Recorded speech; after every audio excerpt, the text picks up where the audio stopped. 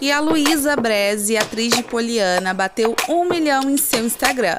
Mas o que roubou a cena mesmo foi o Igor Jance, que já mandou um te amo e os fãs repararam uma aliança em seu dedo. Será que o compromisso agora é para valer? Deixa aqui embaixo e também comenta aqui embaixo nos comentários uns parabéns para a Luísa, que conseguiu bater um milhão de seguidores e o sucesso não vai parar aí por aí, não. Quem aí tipo o casal Jo Helena, comenta aqui. E fiquem ligadinhos que já já tem um resumão para vocês aqui no canal. Então não saiam